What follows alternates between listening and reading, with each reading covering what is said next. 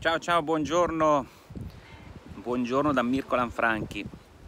Un breve video per tutte quelle persone che sono un po' suscettibili alle critiche, cioè al fatto che c'è sempre qualcuno pronto a, a criticarci là fuori, soprattutto se vogliamo metterci in proprio, vogliamo fare qualcosa di nostro, vogliamo magari avviare un'attività di network o qualche cosa che diciamo è un po' fuori dalla normalità. Quindi bisogna essere pronti a mio avviso a, a ricevere le critiche e come possiamo fare per gestire queste critiche? Qual è il, il segreto, possiamo dire così?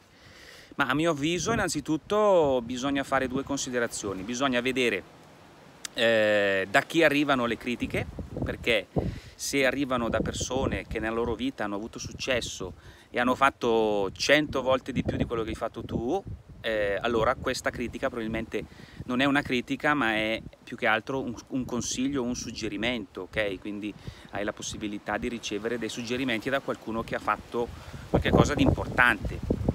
Eh, cioè se tu ad esempio vuoi fare network marketing e ricevi una critica dal tuo cugino squattrinato che non sa neanche da che parte si inizia, eh, è chiaro che questa critica non è una critica di una persona che ha già fatto qualcosa, ha già avuto successo e quindi ti può dare dei consigli, ma è semplicemente una critica di qualcuno che molto probabilmente ha una bassa autostima di sé e quindi cosa deve fare? Per elevarsi deve criticare qualcun altro, deve buttare giù qualcun altro perché così va a favore del suo ego.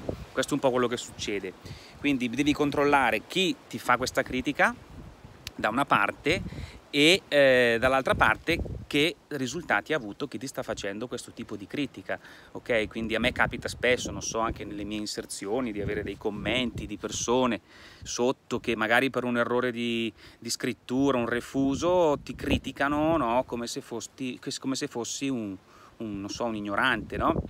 e quindi ah ma cambia questo annuncio che questi errori di ortografia di scrittura eccetera eccetera eh, io non è che ci guardo molto anche perché poi guardando il profilo di questa persona eh, si vede che sono persone che nella loro vita si capisce che ne possono, possono insegnare ben poco e quindi probabilmente sono persone che soffrono, che hanno delle, dei, lo, dei loro problemi, ok? Cioè le persone che ti criticano così in modo gratuito, come ti dicevo prima, è perché hanno un, un, qualche, una loro sofferenza che vanno a compensare col fatto di andare a criticare qualcun altro che ha voglia di fare, che ha voglia di mettersi in gioco, che ha voglia di raggiungere dei risultati.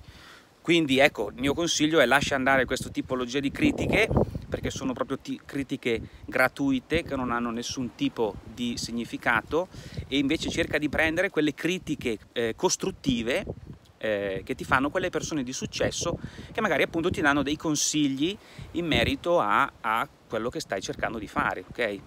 Io non, non, non mi permetterei mai di eh, buttare giù qualcuno, di criticare qualcuno aspramente, se mi dovesse chiedere dei pareri o dei consigli riguardo a quello che faccio, a quello che vuol fare nella sua vita, se vuole fare attività di network per esempio, e cerco solamente di dargli dei consigli affinché possa elevarsi, possa andare oltre, possa migliorarsi e possa trovare degli spunti utili per proprio, la propria crescita, la propria attività o quant'altro. Okay? Quindi importantissimo distinguere tra le critiche costruttive e le critiche distruttive, che sono appunto quelle, quelle fatte da quelle persone che soffrono, che hanno qualche cosa con loro stessi, che quindi è un loro problema, sicuramente non è un tuo problema e quindi lascia andare tranquillamente questa tipologia di critiche e vivi serenamente, perché come dico sempre io, se non ti fa sorridere, cambialo. E aggiungo, come scritto qui, punta alle stelle, mira alle stelle. Ok? Un saluto da Mirko Lanfranchi e al prossimo video. Ciao!